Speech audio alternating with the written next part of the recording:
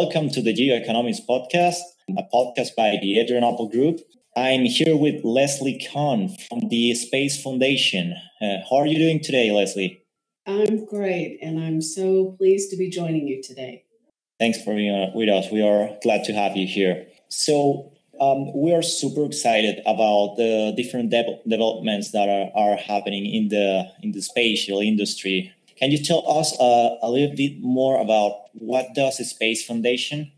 Absolutely. So we are an international organization and we focus on several areas.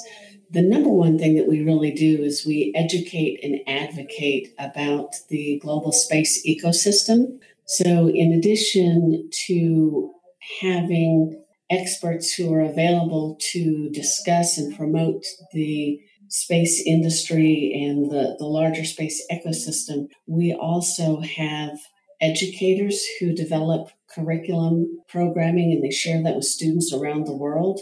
We advocate for business startups and we help connect them and educate them about the space industry. Uh, we also are continually working to develop a workforce that will be skilled in STEM areas so that they can help grow the space industry. One of the other things that we do is we publish the space report.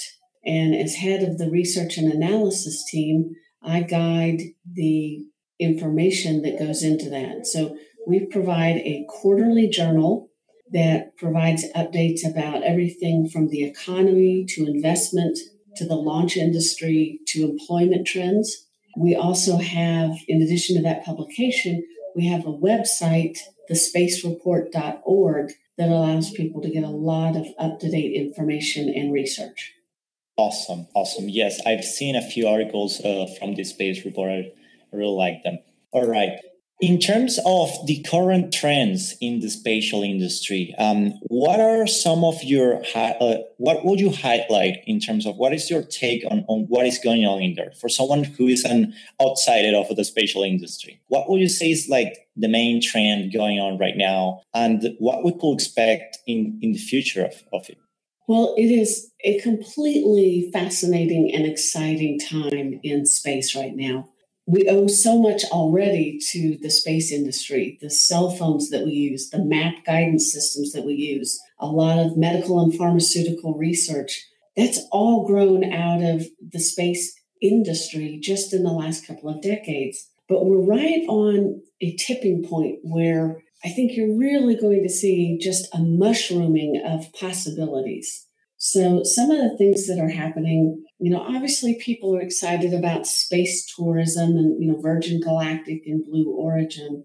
But I think on a larger and even more meaningful scale, you're going to see things such as a really expansive growth in constellation satellites, what's happening there. So, you know, you, you may soon be able to use your cell phone to access the internet via small satellites. There's so much that's going to be happening in terms of robotics. There's also a lot happening in terms of what will be happening on the moon, exploration of the moon, mining of the moon, space stations that are based near the moon. All of that is kind of directed toward a building economy. There's a real promise and anticipation that the moon not only is mineral rich, but it's also rich in ice. That ice, that water, can be used not only to sustain life on the moon, but it also could be used as a propellant to guide us into even deeper space exploration. That's really just a few of the big things happening. Um, asteroid mining is also being discussed. Um, and we're also looking at, again, what you've seen just in the last few months from Mars from the rover and orbiter missions there. That's also another area of tremendous growth. Extraordinary, yes. Something that I, I, I found really interesting is, is how the moon uh, will probably develop in the coming decades. On that point, what do you think is the future of the space jobs? Like, what do you foresee that the next uh, generations will will have to deal with in, in terms of jobs opportunities in that field? You know. Mm-hmm. And it's it's such an, an incredibly wide array of possibilities. Um, again, that, that's part of the promise of what this holds. And some of the biggest things in the immediate future, um, obviously, there are systems engineers that are needed. There are mechanical engineers, and even more traditionally considered, you know, blue collar type of jobs. We need people who are skilled at manufacturing the satellites and the launchers that will go into space.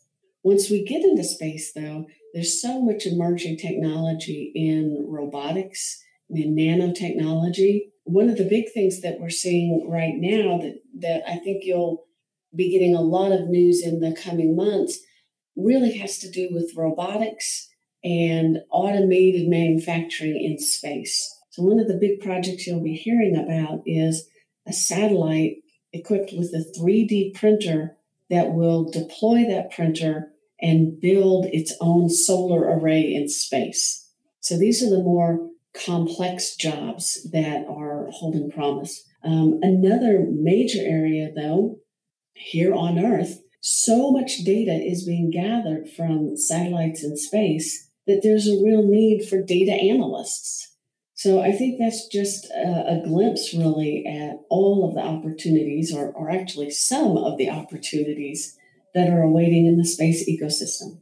So we could definitely say that it will not be only physicists and engineers, uh, but a whole supply chain that is to be set up for Absolutely. the spatial industry. Yes. In fact, one of the interesting things we found last year is that even people who help those employees are finding jobs. SpaceX recently was advertising for baristas because, as every good scientist knows, sometimes you need a lot of caffeine to fuel your dreams.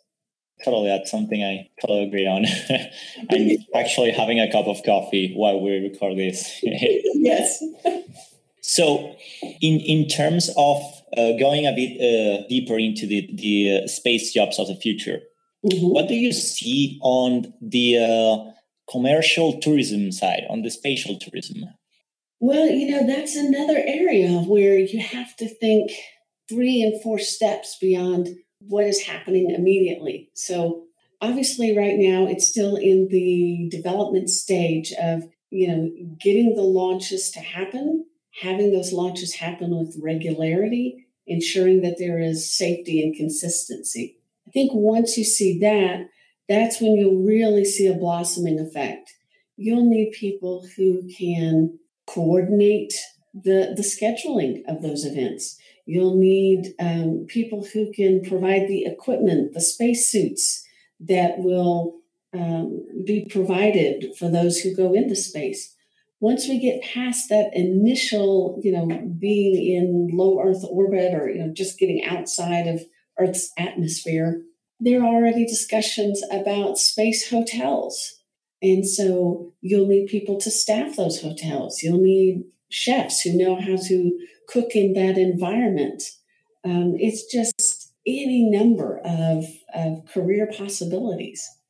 Yes, something that I, I've seen uh, different people from the industry and, and some futurists talk about is uh, they, they, tend to do this analogy of how the, the spatial industry is uh, developing in a way that cruise ships, for example, were developing 150 years ago, or something like that. And that at some point they were just uh, uh, they were very expensive and like not everyone were like able to buy a ticket for a cruise ship, for for example. But with time and with the development of the technologies, the the price will immediately go down and it will be more affordable.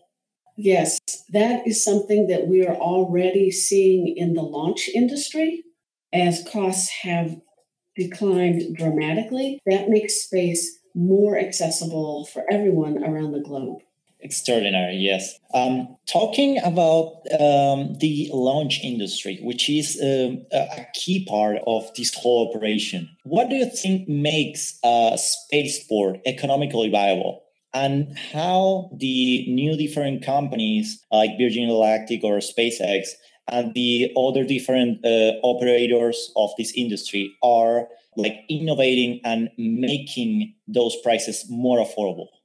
Well, I think that touches on several different areas. So let's maybe talk about spaceports first. Um, and we are seeing a growth of the spaceports internationally. One of the reasons for that is just trying to anticipate the demand of greater launch interests. So, as you have more and more countries getting interested in going into space, again, because space is becoming more economical, it's easier to develop these payloads.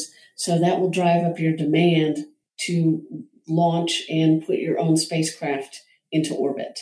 So, that's kind of the background driver of the interest in spaceports.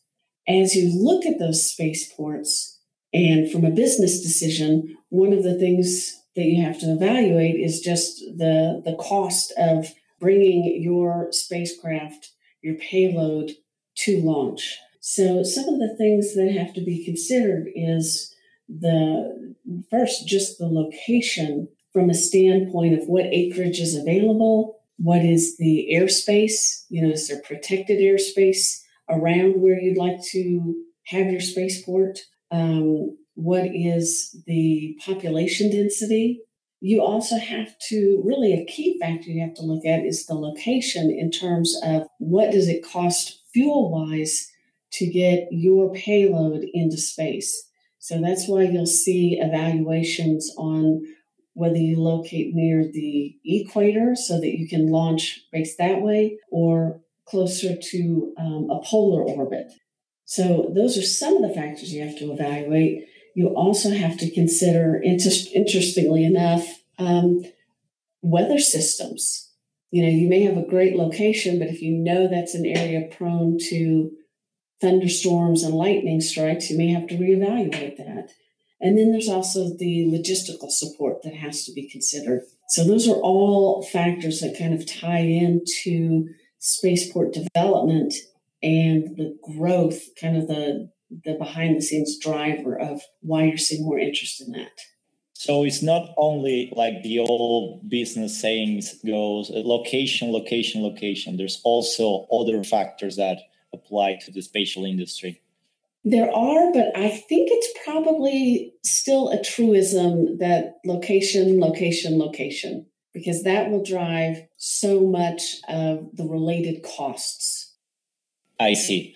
What would you th- uh, say, uh, for example, is the role of the venture capital in the spatial industry? Well, as we are seeing, they are playing an increasingly important role. Um, venture capital investment allows really a, a latitude and um, a broadening of who's involved in space industry in this, the development of new ideas it also provides money that maybe isn't tied as much to traditional regulatory and governmental oversight.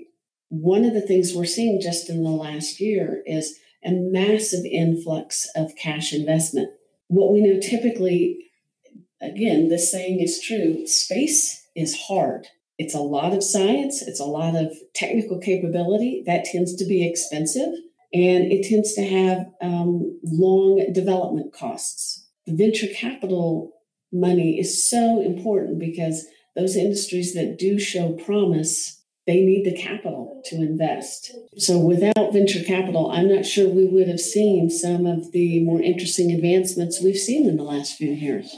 Yeah, definitely. They, they play a key role on fueling many of, of these different projects and operations there's uh, a lot of talk as well on on and, and there's also people who criticize uh, or at least are criticizing the space industry in for things like space debris. Um, what would you say to those people, and what are some solutions that you see in the in the future? Well, I think that is an interesting point. There are a lot of new discussions happening increasingly because of the amount of debris that we are beginning to see. So the more that we want to get into space, the more we want to create um, low Earth orbit constellations, mega constellations, the more we need to make sure that we have a, an uncluttered environment to do that. What is beginning to happen, I think you'll see, is that it's it's moving beyond just the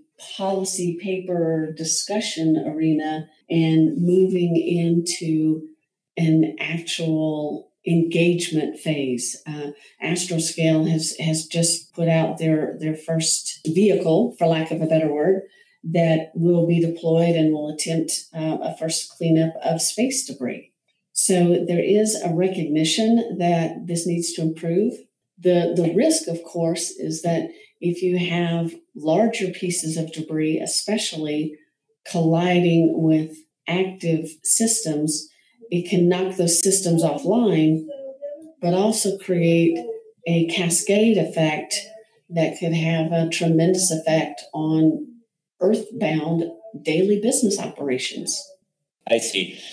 So yes, it's in in terms of uh, the the debris. It's it's something that there will be more solutions coming on with with time. Is any uh, particular solution that you see viable to be able to deploy in the next uh, five to ten years, or is that too quick for this developing industry?